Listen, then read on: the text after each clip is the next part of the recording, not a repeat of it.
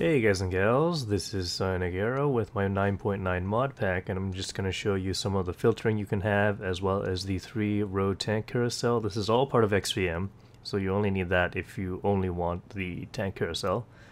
And you can just put on a bunch of filters. That one is for uh, priority and then that is the domination game mode vehicles. And of course we have the session statistics uh, so you can reset that whenever you want and you can see how you're doing so far. Now in battle we'll take a look at the minimap. The orange dotted line is your view range, the blue dotted line is your radio range, and then the red square is your draw distance.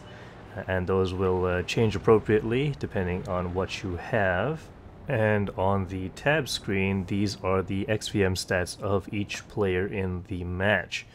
Looking at the stats of Killer Medic, the T110E5 on my team, 54% is the win rate of the T110E5 that is being played, 1608 is the WN8, and the 0.1k means he's played about 100 games in the T110E5. And now, if you press the alternate key, you'll get a different set of information on top of each vehicle very soon. I'll have that up. Little Step in the T-54 has a total overall average win rate of 47% with 13,000 battles played, a WN8 of 953, and in the T-54 he's got 49% win rate with 300 games played. That 38 is a, a different scale. It's uh, I believe it's something from 0 to 100. Uh, I'm not sure about that though as I don't use it. The fighting continues, and on the top left you will see the hit points left of your enemy vehicles, the spotted enemy vehicles anyway. And here's the tab screen once again. And back on the top left, if you're not holding the alternate key, you will see your hit log, which shows you the amount of damage you've done to the enemy, uh, minus the stuff that you do by blind firing.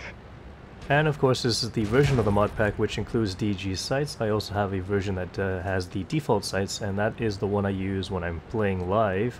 However, in replays I've got the DG sights running because I want to see the reload time of the current cannon. Uh, which is a nice thing to have in replays. Now I'm going to show you how to install the mod pack. This is the default root directory of World of Tanks where it installs normally, but uh, if you didn't install it in that folder, you're going to have to find out where you put it.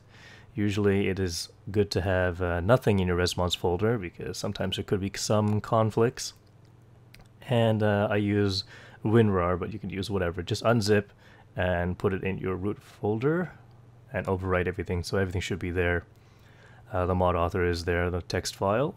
And in configs, if you want to change your color scheme from the uh, the default colors to colorblind colors, you can if you want to. So you just have to delete xvm.xc copy the colorblind colors, and then paste it, and rename that to xvm.xc, and you're good to go.